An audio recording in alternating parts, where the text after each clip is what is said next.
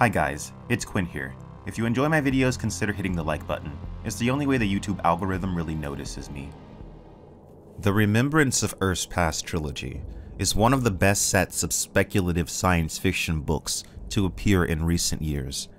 The trilogy explores themes surrounding both the human will to survive and the potential of mankind to inflict harm upon itself rather than band together in the face of a greater threat. Another major theme is our place in the universe and assumptions about the cosmos, and our lack of actual concrete knowledge about it.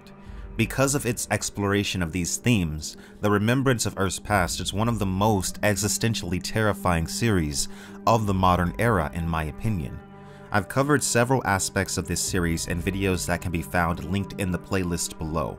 In this video specifically, we will discuss the ending of the final book in the trilogy, Death's End. This video will have spoilers for all three books in the series, so keep that in mind. The star DX3906 had been gifted to Shang Xin during the Crisis era by a man named Tian Ming. Tian Ming would go on to be the only human being ever to make physical contact with the alien beings known as the Trisolarans, who had attempted to invade Earth and claim the planet for their own. With the help of Tian Ming's brain, the aliens devised an attack on humankind, lulling humankind into a false sense of security. The aliens strike nearly destroying all of mankind.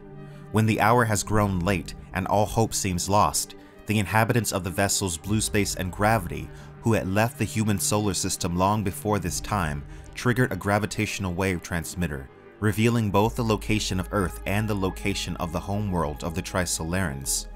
As we have discussed in detail in other videos, in this universe, the revelation of one's location is deadly due to the hostile nature of cosmic society.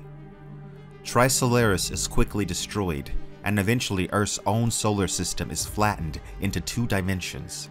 Shang Xin and AA are the only inhabitants of the solar system to escape. By the time they reach Planet Blue, hundreds of years have passed from the perspective of Earth due to the effects of relativity. Shang Xin and AA find Guan Yifan, a former inhabitant of blue space and gravity on the world.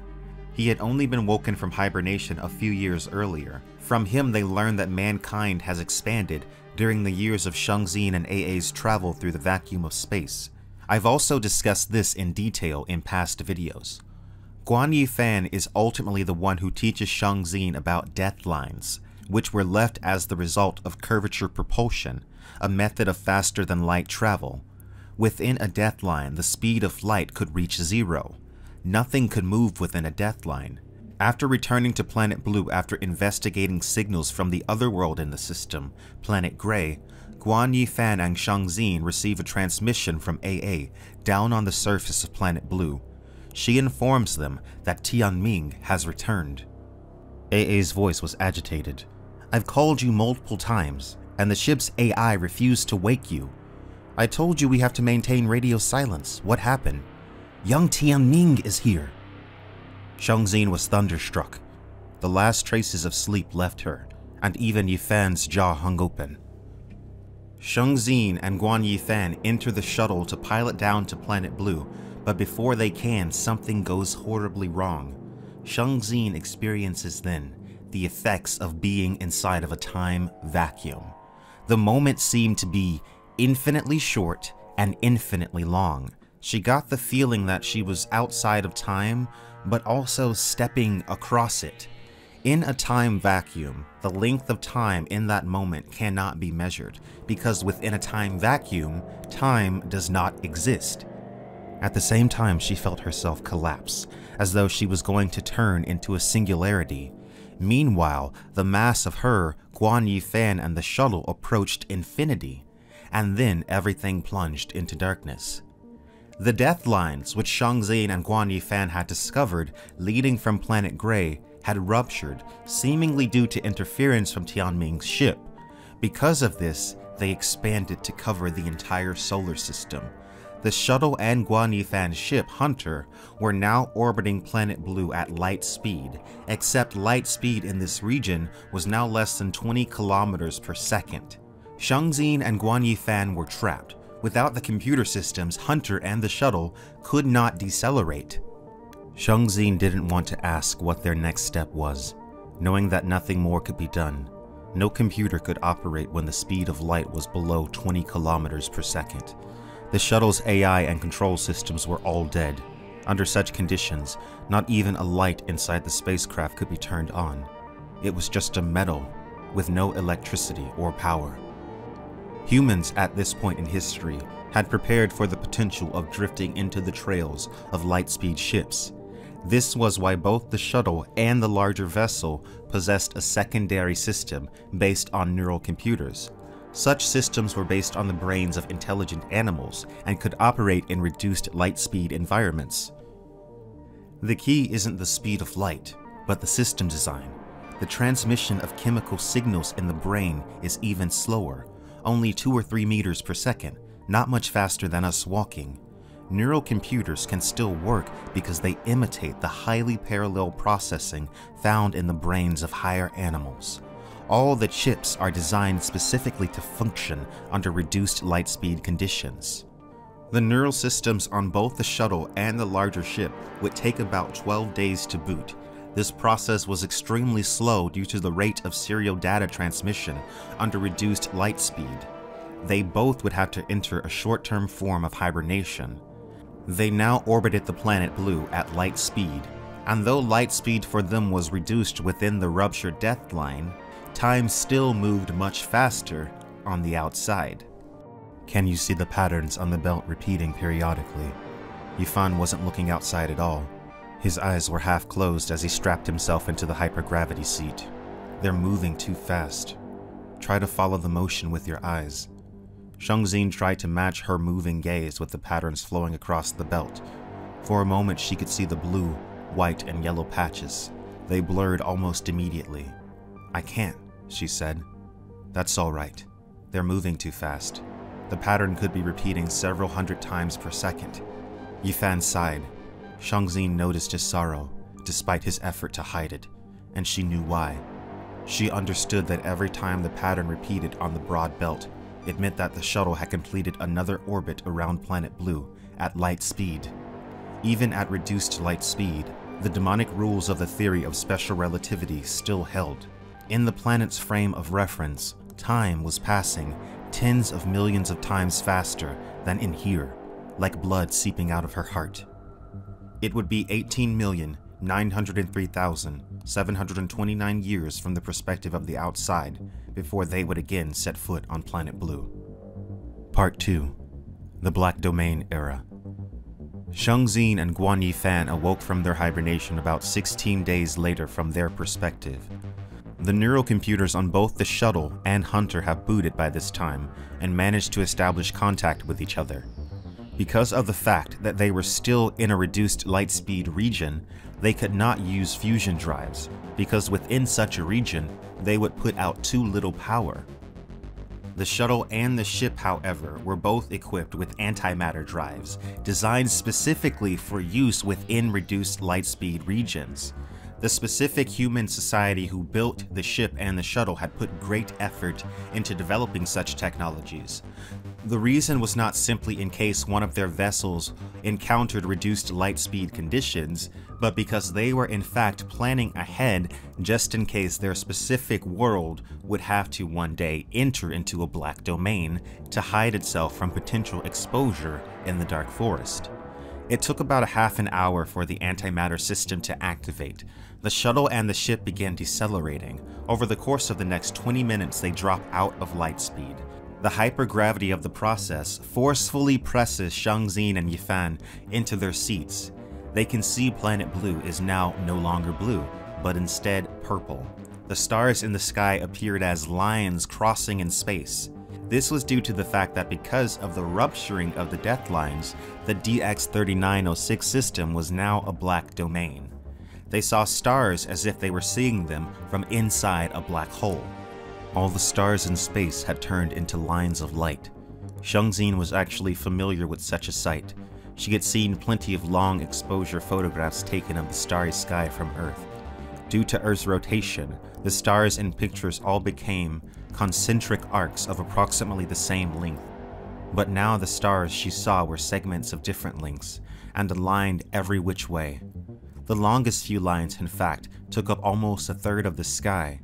These lines crossed each other at different angles and made space appear far more confusing and chaotic than before. The DX 3906 star system was now cut off from the rest of the universe. As far as they knew, they could never leave it. But there was still the question of what now waited on the planet. A change in the sun's radiation over time had caused the vegetation of the world to adapt.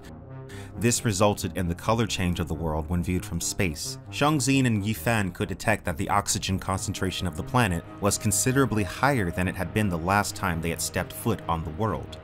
The geographical structure of the planet had also significantly changed since they had last been there. Guan Yifan and Shangxin surveyed the landscape of the planet, and though it was full of life, there was no sign of human life, no trace of Tianming or his vessel. Hunter, which was still in orbit above planet Purple, had an exceptionally powerful computer. After completing its scans, it confirmed that there were no humans on the planet whatsoever. Shangxin initially believes that maybe several tens of thousands of years have passed, but she grossly underestimated. By taking rock samples taken from the planet and measuring their atomic decay, they determined the actual length of time that had gone by. Average atomic decay dating results, error range 0.4%, stellar time periods lapsed 6,177,906, Earth years lapsed 18,903,729. They knew then that both Tianming and AA had been dead for millions of years. Shangxin, however, remembers what Luo Ji had done earlier in the novel. When the solar system was attacked with the dual vector foil, leading to a dimension strike causing the collapse of Earth's solar system into two dimensions, Luo Ji, who during the Crisis era saved mankind from destruction at the hands of the alien invaders, the Trisolarans, attempted to preserve some of humanity's history on the world Pluto by carving into stone. He believed more so than any method, that this was the most permanent. Shangxin commands Hunter to scan at a depth range between 20 and 30 meters. Hunter's AI was capable of recognizing language. An hour later, it brought back fragments of words which had been carved into an enormous bedrock, now buried 30 meters beneath the planet. We lived a happy life together. We give you a little. Survive the collapse inside go to the new. Before the death lines had ruptured, AA said that Tianming had a gift for Shangxin. That was the gift being referenced here. It was the gift of an entire universe. Part 3 Universe 647 Guan Yifan and Shangxin eventually discover the door, the gift left by Tianming. It had been left there for more than 18 million years. To call it just a door would be inaccurate. It was almost sentient. It remembered that in the beginning it had been placed next to the carved rock containing the text. In the beginning it had also had a metal frame, but that had eroded millions of years ago. It itself had no fear of erosion because it existed outside of time. When it detected the presence of humans on the surface of the world, it rose to the surface. While doing so, it made no interaction with the crust. It moved through the world like a ghost. It immediately confirmed that Guan Yifan and Shangxin were the two humans that it had been expecting. Something strange interrupted their meditation. A rectangle limned by faint lines of light, about a man's height, hovered over the clearing like the dash section lines marked out by dragging a mouse. It moved through air, but did not go far before returning to its original position. It was possible that it had been there all along, but the outline was so faint and thin that it was invisible during daytime. Whether it was made by a force field or actual substance, there was no doubt it was the creation of intelligence. After walking through the door, Shangxin and Guan Yifan are immersed in primordial darkness and also experience the sense of being in a time vacuum, the same as when they encountered the ruptured death lines. For a moment, time does not exist. Darkness disappeared, time began. There is no appropriate expression in human language to express the moment at the start of time. To say that time began after they entered the door would be wrong because after required time. There was no time here, and thus no before or after. The time after they entered could have been shorter than a billion billionth of a second, or longer than a billion billion years. The miniature universe beyond the door was a completely enclosed world, in which the end was also the beginning. When you walk all the way to its edge, you simply return to where you started. There was a sun and a blue sky, an unplanted field with black soil, a large white house, and tiny robots attending it all. From the house, a woman walks out. Shang Xin recognizes her immediately. Sophon. Sophon had been the avatar through which the Trisolarans had spoke to humanity through during the Deterrence era. She had also been humanity's cruel dictator following the fall of that era. But this Sophon was somehow different. Sophon had only been a puppet of the Trisolarans. This version served another purpose. She was the manager of this universe, which was called Universe 647. She was essentially placed there by Tian Ming to serve Guan Yifan and Shang Xin. The war between Trisolaris and humankind was quite literally ancient history. It had ended millions of years ago. This entire miniature universe had been constructed with Trisolaran technology. They learned from Sophon that time moves much slower in the miniature universe than in the greater universe. Tian Ming believed that the great universe was headed for collapse, essentially the Big Crunch. Following the crunch, a new Big Bang. This would create a new universe, a new Edenic age, a universe possessing 10 dimensions, not degraded by life. Tianming had hoped that Shang Xin and Guan Yifan could wait within the miniature universe until the birth of the new greater universe. It was calculated that after a span of about 10 years in the miniature universe, the greater universe would reach its end. The miniature universe was not actually on Planet Blue, only its entrance was. It was truly outside the greater universe, fully independent. As time goes by within the miniature universe, Shang Xin and Guan Yifan learn more and more about its nature, but much of it is incomprehensible to them. They don't understand how a complete ecological cycle could function in such a small sealed place. What exactly was the sun, and where did the heat of the miniature universe go given that it was a closed system?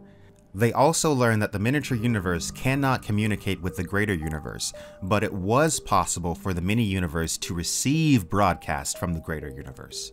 This was possible because all the universes were in fact bubbles above a supermembrane. This was something that the Trisolarans had discovered. There were other great universes beyond our own, some possessing intelligent life. Great universes had enough energy to propagate information across the supermembrane. This required an astronomical amount of energy, equivalent to the total amount of energy within an entire galaxy. As a matter of fact, the monitoring systems in Universe 647 often received messages from other great universes on the supermembrane. Some were natural phenomenon, some were messages from intelligent beings that could not be decoded, but they had never received any messages from the particular great universe they had come from. After more than a year inside the miniature universe, it finally happens. They receive a message from their own universe. It is a broadcast in countless languages, all the languages of the great races throughout the universe who made their mark. Among them included the languages of the Trisolarans and of the Earth. For Shang Xin and Guan Yifan, the Earth's languages being presented confirmed that humanity had endured in the cosmos, but the content of the broadcast itself brought a grave message from a group of beings known as the Returners. A notice from the Returners the total mass of our universe has decreased to below the critical threshold. The universe will turn from being closed to open and die a slow death in perpetual expansion. All lives and all memories will also die. Please return the mass you have taken away and send only memories to the new universe. A miniature universe could not exist without first taking matter from the greater universe. The message was clear Universe 647 was one of who knows how many miniature universes constructed by humanity, the Trisolarans, and countless others, each one containing matter stolen from the greater universe. Without the return of that matter, the universe could not reset to its Edenic age. In perpetual expansion, all the galaxies would move farther and farther away from each other, until none were visible from any other. By then, standing at any point in the universe, all one would see was darkness in every direction. The stars would go out one by one, and all celestial bodies would turn into thin dust clouds. Coldness and darkness would reign over all, and the universe would become a vast empty tomb. All civilizations and all memories would be buried in that endless tomb for eternity. Death would be eternal. In order to save the universe, the matter locked up in all of the many universes would need to be brought back. This, however, means that all the refugees fleeing the destruction of the Crunch would have to return to the greater universe as well. Shang Xin and Guan Yifan make their decision. They will dismantle the mini universe and return to the greater universe. Within the miniature universe, they leave a quantum computer containing the entire memory of Trisolaris and the Earth, and a tiny sphere containing a fully sealed ecological system with a tiny light emitter. As long as it remained there, Universe 647 would not be a lifeless, empty, and dark world. Entering their fusion-powered vessel, they leave Universe 647 forever, into the main universe which has advanced 10 billion years. Planet Blue no longer existed. The star DX3906 had long ago vanished. It was a possibility, though they could not say for certain, that the great universe would no longer even be three-dimensional once they entered it. It was within their capabilities to move the entrance to the mini-universe elsewhere. Once they exited, they would appear somewhere else in the greater universe. What exactly they might encounter, they did not know. This is where Death's End concludes. The story is continued, however, in the spin-off novel, which was not written by Cixin Liu, but instead by Baoshu, titled Redemption of Time. An interesting thing that Liu Cixin does at the end of this novel is set up how terrible and sad the idea of the universe endlessly expanding in darkness would be if they could not repair it. But the fact is, the continued expansion of the universe is one of the main currently accepted theories for what may happen in real life. Scientists realized a while ago that the Big Crunch was most likely not possible. The universe is expanding due to a mysterious force known as dark energy. Dark energy makes up about 70% of the universe, and we really don't know what it is. But we do know that it is causing the expansion of the universe, and we also know that the expansion is not stopping. It is in fact accelerating. Scientists say that eventually every particle in the universe will be perfectly spaced out. Because of this, gravity would have no effect. There would be no light, no movement, just endless silence and darkness.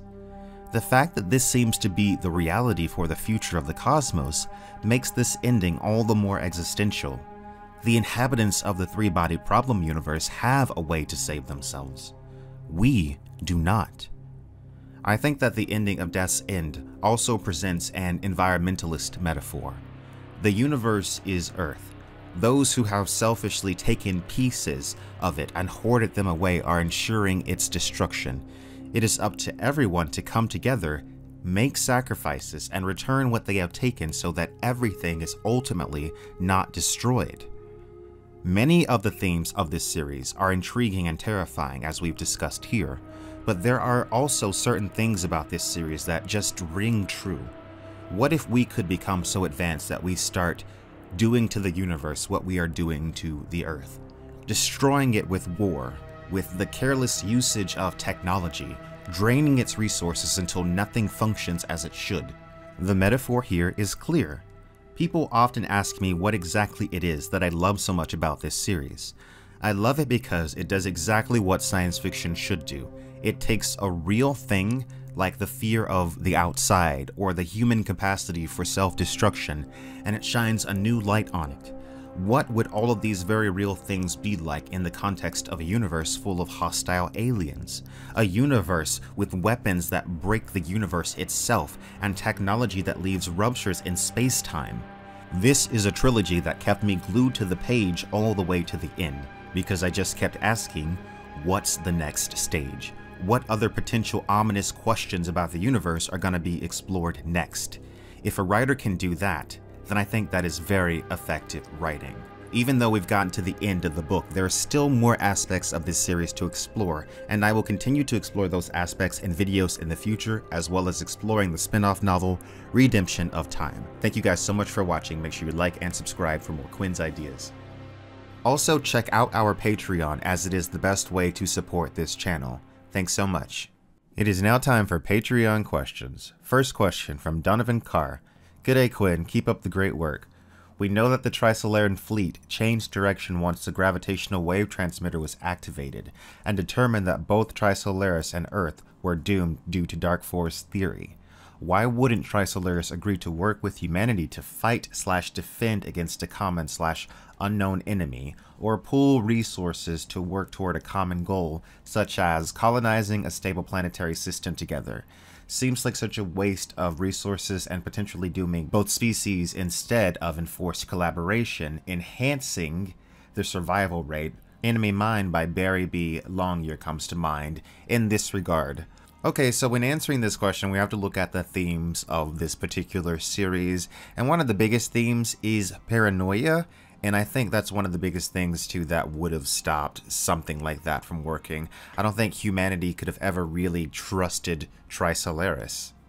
At least not at that point in time. I think it would have been too early for these two civilizations to have a functioning collaboration of any kind that would have lasted long term at this point in their existence. I think it's simply too early, and also it just does not fit the themes of the book.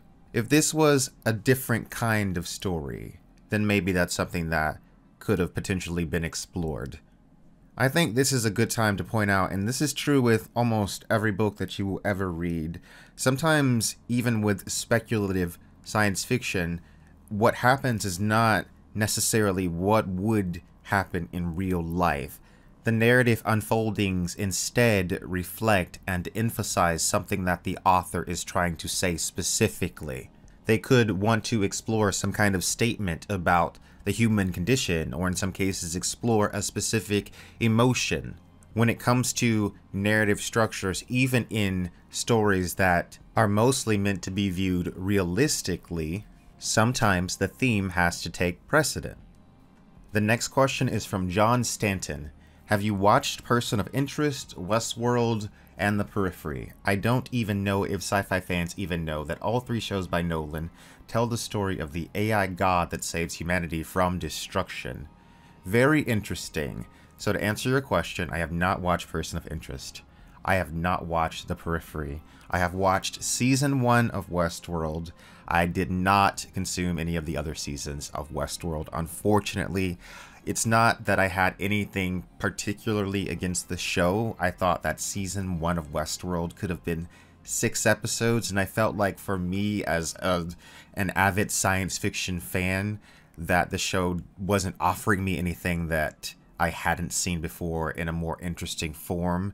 And that's an experience that I often have watching science fiction movies and watching science fiction television shows because books are so much more vivid and often so much more detailed. That's nothing against that show or against these other two shows. I might give them a try in the future, but at this time I have not seen them. But that concept of the AI god that saves humanity from destruction is an interesting concept, and it reminds me of a kind of a reversal. Just hearing the concept reminds me of a kind of reversal of the idea of the technological singularity, which is this idea of when AI surpasses humans and bad things are implied to happen from that point on. This concept, by the sound of it, seems like the opposite AI rising up and saving humanity from itself, kind of. Thanks for the incredible content you put out. What are your feelings on the cyberpunk subgenre? Ever plan to tackle any of the cyberpunk greats like Neuromancer, Snow Crash, and Altered Carbon, the like? I've enjoyed some of these as much as Dune and would really dig to see them get the Quinn treatment? Well, first of all, thank you for calling cyberpunk a subgenre because I've seen people refer to cyberpunk as a genre, and I don't really see it as a genre because the only substantive difference from cyberpunk and regular science fiction is purely aesthetic, in my opinion. And it can be a pretty subtle aesthetic shift, honestly. I think there's a little bit debate about some things, whether they are cyberpunk and not cyberpunk. Anyway, to answer your question, yes, I do plan on covering Gibson's Neuromancer at some point in the future specifically. Alright guys, that's it for the questions in this video. Thanks so much for watching.